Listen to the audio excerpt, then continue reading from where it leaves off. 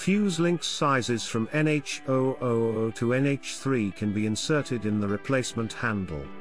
When inserting the fuse link into the handle, the security key must lock, otherwise the fuse is dropped and damaged.